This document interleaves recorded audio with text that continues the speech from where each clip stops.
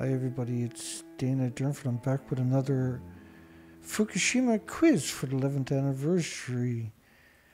Uh, the question about uh, tanks at Fukushima that they're going to be dumping into the ocean. They have apparently 1,000 tanks in 2022.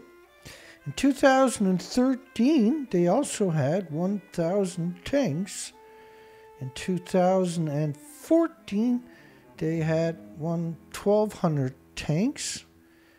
And in 2017, they had 900 tanks. In 2019, they had 1,000 tanks. In 2021, last year, they had 1,000 tanks.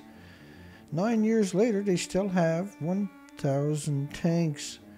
So, what's going on here? No answer to how radioactive material leaked from the reactors. Unknown why reactor 1 exploded and don't know the reason for unit 2 releasing so much. Fukushima radioactive tanks may have already been emptied into the Pacific Ocean and that the modeling that was done Maybe on the worse ocean than thought. Now, studies from last year indicate that radioactive water will contaminate the entire Pacific Ocean in just six years. Kim Min-ji reports. This graphic shows the gradual contamination of the Pacific Ocean due to leaks of radioactive water from the crippled Fukushima nuclear plant in Japan. The simulation, which was run by a German Marine Research Institute, shows the entire Pacific waters being polluted by radioactive water in just six years.